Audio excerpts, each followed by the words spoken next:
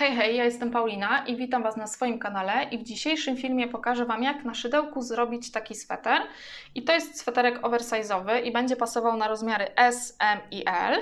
Mamy delikatnie bufiaste rękawy ze ściągaczem i ja się zdecydowałam na taką wersję kolorystyczną, żeby zrobić jeden rękaw w takim pomarańczowym kolorze, a drugi w takim różowym. I to samo dzieje się na dole sweterka, czyli tutaj mamy pomarańcz, po drugiej stronie mamy róż. Dekolt jest zrobiony, ma dokładnie taką samą głębokość e, z przodu i z tyłu, więc można go nosić tak naprawdę w jakikolwiek sposób chcecie. Za chwilkę podam Wam dokładne wymiary tego swetra, pokażę Wam czego użyć, więc jeżeli chcecie wykonać ten sweter razem ze mną, to zapraszam do oglądania. I długość naszego sweterka to jest 47 y, cm, szerokość to jest 67 Od dekoltu do ramienia mamy 23 cm i długość rękawu razem ze ściągaczem to jest 41 cm. Do wykonania sweterka użyjemy włóczki z firmy Drops, to jest Paris i jest to 100% bawełny. I po kolei mamy kolorek 26, 20 i 27 i potrzebujemy dwa motki koloru pomarańczowego, dwa motki koloru różowego i 10 motków tego karmelowego koloru. Natomiast jeżeli chcecie zrobić ten sweter w jednakowym kolorze, to po prostu kupcie 14 motków tej włóczki lub w ogóle zróbcie zupełnie inną wersję kolorystyczną, to już zależy od Was. Potrzebujemy nożyczki, igłę, szydełko. Ja użyję w rozmiarze 4, pomimo że producent zaleca użycie szydełka w rozmiarze 5. Ja chcę, żeby ten ściek był ciaśniejszy, więc użyję mniejszego szydełka i znowu licznik rzędów. Jeżeli macie, użyjcie, żeby sobie pomóc. Jeżeli nie, kartka papieru, długopis i odznaczajcie sobie te rzędy. Zaczynamy od magicznej pętelki i zróbcie teraz 79 oczek łańcuszka.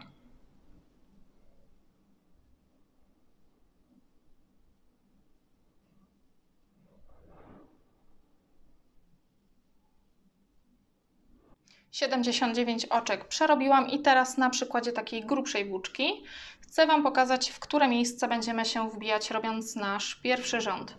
Odwracamy łańcuszek i tutaj dokładnie widać tą pętelkę, w którą będziemy się wbijać. I ja zazwyczaj robię to właśnie dokładnie w taki sposób, ten pierwszy rząd, zazwyczaj wbijam się właśnie w tą pętelkę, dlatego że moim zdaniem po prostu robótka wygląda ładniej. I robimy dokładnie to samo tutaj. Pracujemy słupkami, czyli nawijamy sobie włóczkę na szydełko, odwracamy łańcuszek, pierwsza pętelka zostaje nieruszona, wbijamy się w drugą. Zbieramy włóczkę, mamy trzy pętelki na szydełku, zbieramy włóczkę, przeciągamy przez pierwsze dwie pętelki, zbieramy włóczkę i przeciągamy przez kolejne dwie pętelki. I kolejne trzy pętelki na szydełku, przeciągamy przez pierwsze dwie i przeciągamy przez kolejne dwie. I w taki sposób zróbcie do końca.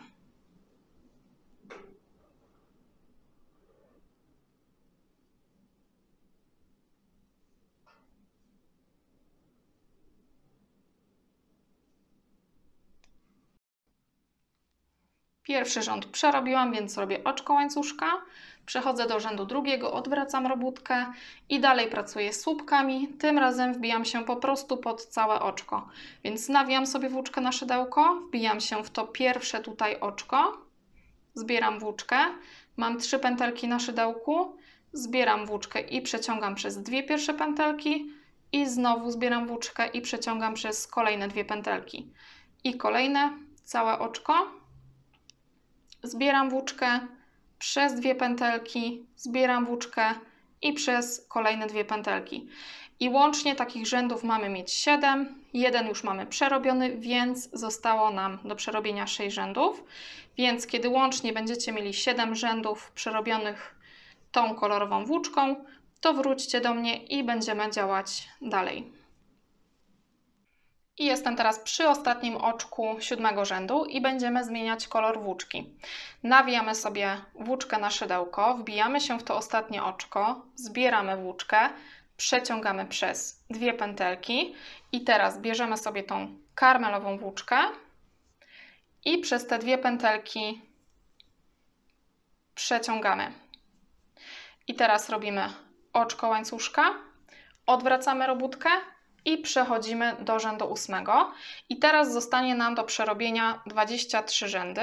Łącznie ma ich być 30. Mamy 7 rzędów zrobionych tym pomarańczowym kolorem i teraz zostanie nam 23 rzędy do przerobienia. I teraz sobie je w spokoju zróbcie, wróćcie do mnie i będziemy pracować dalej.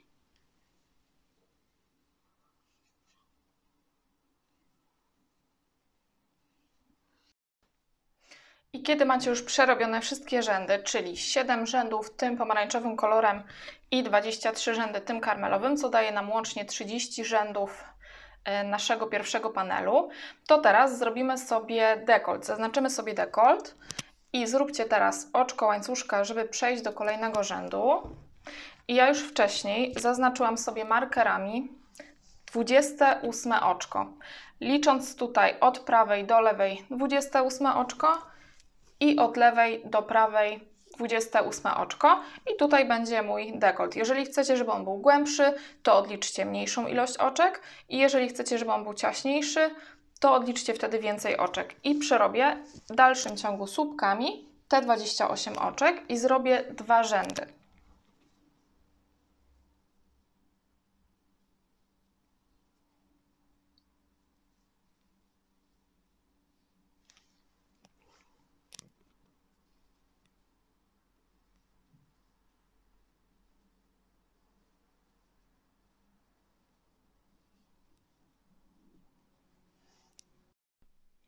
Ściągam marker i przerabiam również to 28 oczko.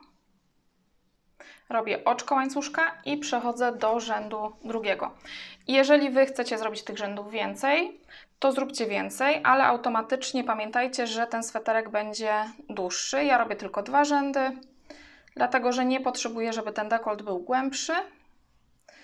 I dokończcie sobie to i wróćcie i będziemy działać dalej. I po tej drugiej stronie również przerobimy sobie 28 oczek, zrobimy dwa rzędy słupkami, więc weźcie włóczkę, zróbcie sobie pętelkę. I ściągam ten marker. Zaczynam w tym miejscu, więc wbijam się szydełkiem, biorę moją pętelkę, przeciągam, robię oczko i już w tym pierwszym oczku robię pierwszy słupek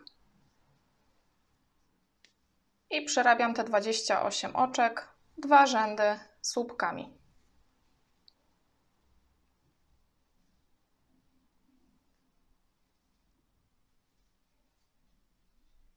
I kiedy będziecie sobie ucinać e, włóczkę, to zróbcie coś takiego, utnijcie tej włóczki więcej. Ja sobie ją w taki sposób pozwijałam i spięłam markerem, żeby ona mi się tutaj nie majtała, bo ona nam posłuży do zszywania później ramion. I kiedy ten pierwszy panel jest gotowy, to musicie zrobić drugi, dokładnie taki sam, z tym, że u mnie ten pierwszy panel jest z pomarańczowym pasem na dole, a ten drugi zrobiłam z różowym. Wy zróbcie tak jak chcecie, w takiej wersji kolorystycznej jak chcecie. U mnie ten drugi jest właśnie różowy i jest dokładnie taki sam, więc puszczacie film od nowa i przerabiacie drugi taki sam panel. No i kiedy oba panele macie już skończone, to możemy przejść do rękawów. I rękaw zaczniemy y, od ściągacza i zróbcie teraz magiczną pętelkę. Przeróbcie 13 oczek łańcuszka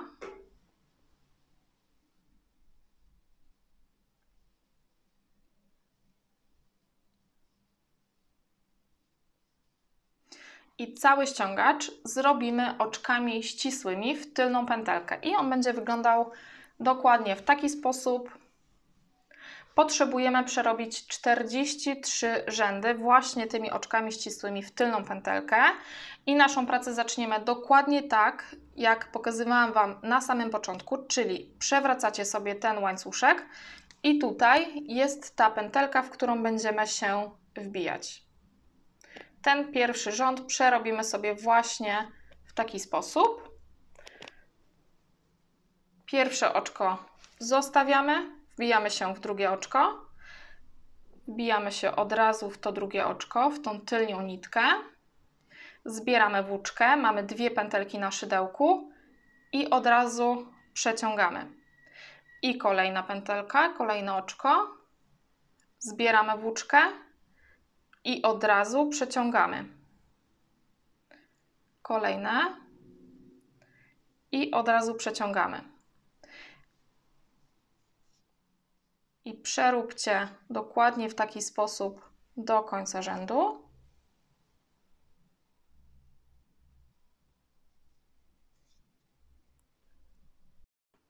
Pierwszy rząd jest przerobiony, robię oczko łańcuszka, żeby przejść do rzędu drugiego, odwracam robótkę i będę dalej pracować oczkami ścisłymi w tylnią pętelkę, czyli w tą tutaj.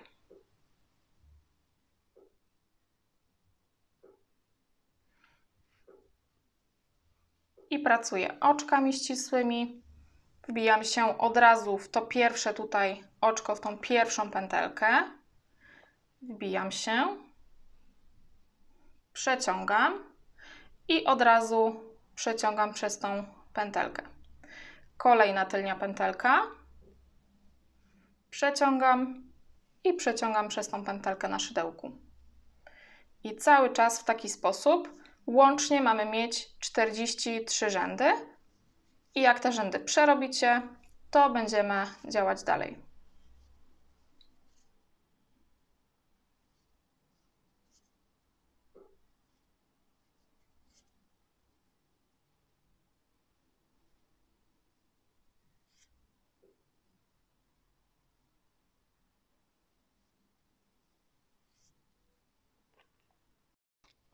Ściągacz jest gotowy, mamy 43 rzędy przerobione i w tym momencie ten ściągacz ma 7,5 cm długości i 16,5 cm szerokości.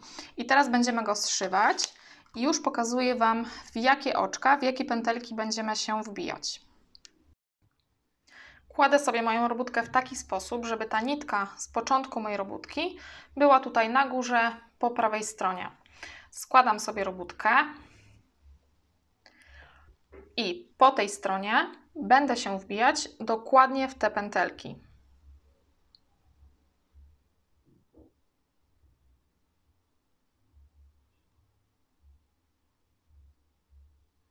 Natomiast po tej drugiej stronie będę zbierać te pętelki tutaj. To będzie moja pierwsza, to będzie kolejna, kolejna, kolejna i tak do końca. I będę zszywać oczkami ścisłymi, więc robię oczko łańcuszka. Tą pierwszą pętelkę mogę sobie pomóc i wysunąć ją po prostu igłą. Czyli wysuwam sobie tą pętelkę tutaj. W nią wbijam się najpierw.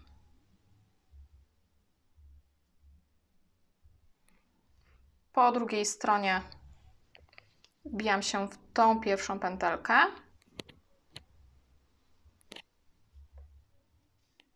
Zbieram włóczkę, robię pierwsze oczko ścisłe. i zbieram sobie kolejną pętelkę. To będzie ta tutaj. Po drugiej stronie wbijam się w kolejną, czyli w tą tutaj. Przeciągam sobie włóczkę i robię oczko ścisłe. I kolejna pętelka. I po drugiej stronie zbieram włóczkę i robię oczko ścisłe. I w taki sposób zszywamy do samego końca.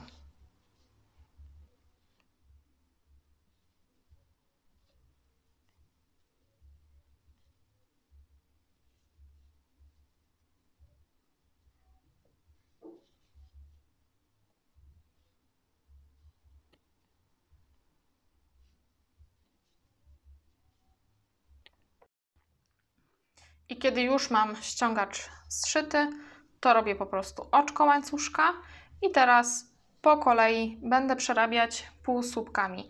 I teraz przeróbcie po prostu 24 półsłupki w całym okrążeniu.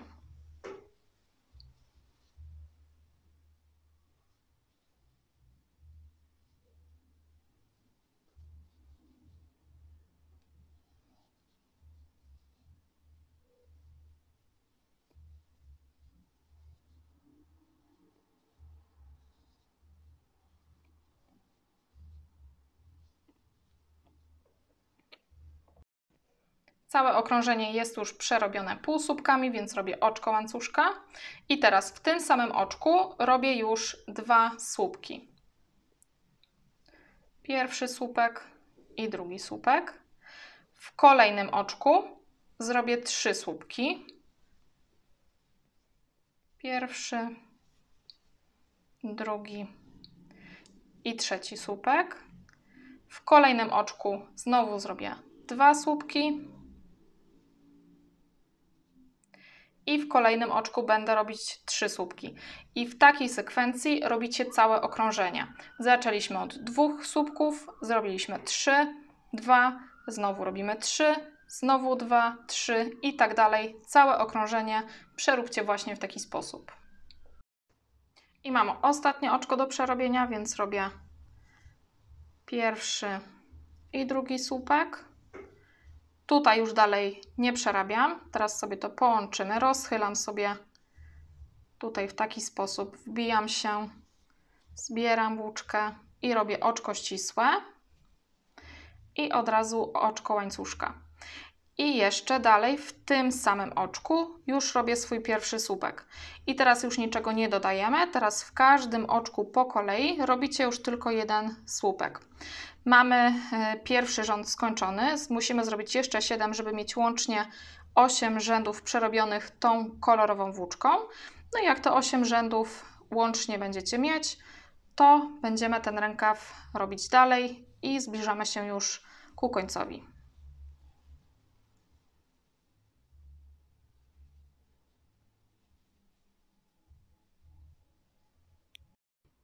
8 rzędów tą pomarańczową włóczką już przerobiłam i teraz wracamy do tej karmelowej, do tej brązowej włóczki. No i musimy sobie to połączyć. Więc rozchylam sobie tutaj to oczko, wbijam się, biorę sobie tą karmelową włóczkę,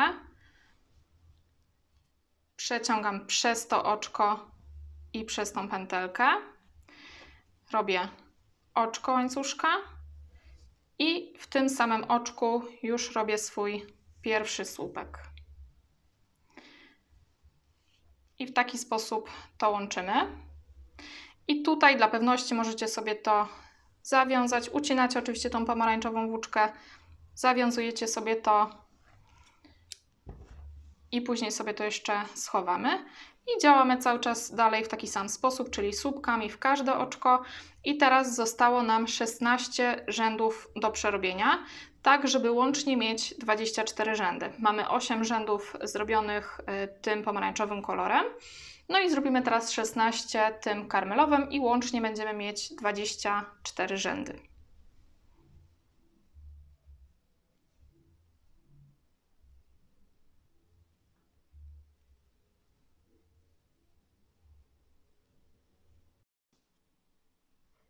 24 rzędy przerobione i teraz ostatni raz wbijam się tutaj, robię oczko ścisłe, oczko łańcuszka.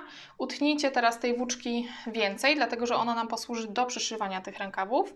I jak ją sobie już utniecie, to całą tą włóczkę przez to oczko przeciągnijcie. No i oczywiście teraz musicie zrobić drugi taki sam rękaw. Jeżeli chcecie się zdecydować na dwie różne wersje kolorystyczne tutaj w tym miejscu, to oczywiście zróbcie to, jeżeli nie, to zróbcie po swojemu. Czyli robicie teraz drugi taki sam rękaw i po tym przechodzimy do zszywania całego swetra. I zanim jeszcze zszyjemy ten sweter, to pokażę Wam, jak możemy pochować takie właśnie nitki. To jest to miejsce, w którym łączyliśmy kolory i to samo możecie zrobić na rękawach. Tam również potrzebujemy schować nitki. I jak to robię? Po prostu zawiązuję to na jeden supełek, zawiązuję to drugi raz na drugi supełek. I ta włóczka jest o tyle fajna, że z nią da się to zrobić. Nie ze wszystkimi się da zrobić tak samo, ale biorąc igłę, rozdzielam sobie tą włóczkę na dwie takie części. Tą drugą również sobie tak rozwarstwiam i dzielę na dwie części. I teraz, biorąc szydełko, przeciągam sobie przez jakiekolwiek najbliższe oczko. Mogę sobie wziąć mniejsze szydełko. Przeciągam sobie jeden kawałek włóczki. Gdzieś tutaj przeciągnę sobie tą drugą włóczkę.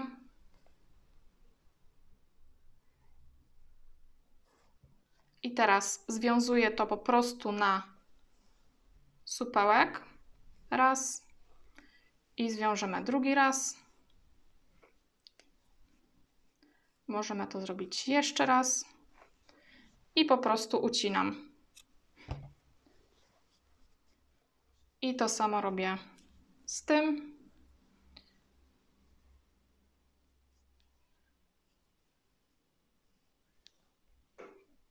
Czyli przeciągam sobie to.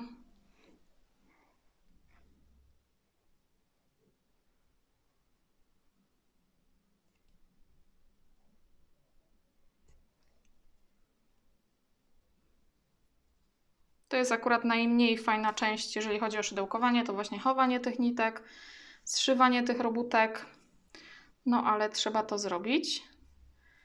I związuję sobie to po prostu jeden i drugi raz ucinam i wierzcie mi, że to nie powinno już się rozpróć i to powinno się trzymać. Nie ze wszystkimi włóczkami da się zrobić to samo. Ta akurat jest do tego fajna. W innych projektach, jeżeli będziemy mieli inne włóczki, to będę Wam pokazywać, jak takie nitki chować. I zszyjemy sobie najpierw ramiona. Kładę sobie najpierw jeden panel. Tutaj mam włóczki, które wcześniej ucięłam, odpowiednią ilość. Nakładam na to ten drugi panel.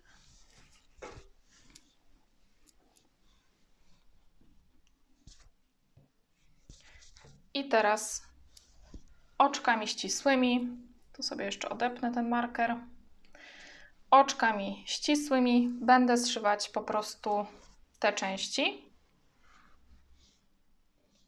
Czyli wbijam się w pierwsze oczko, Bijam się po drugiej stronie.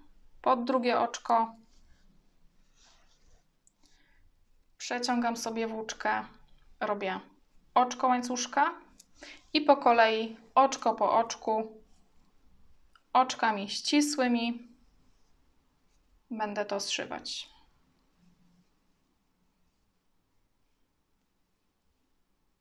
Wbijacie się pod całe oczka,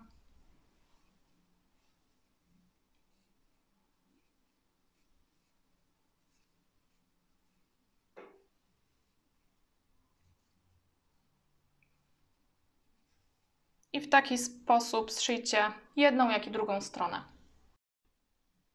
I teraz wytłumaczę Wam, w jaki sposób będę przyszywać rękaw. Nie będę już pokazywać całego procesu zszywania, bo nie chcę, żeby ten film był za długi. Zostawiam ten panel po tej stronie, gdzie go zszywałam, czyli na tej tak zwanej lewej stronie. Biorę mój rękaw, układam go w taki sposób, żeby ten szef był tutaj na dole, Wkładam sobie to pomiędzy jeden i drugi panel.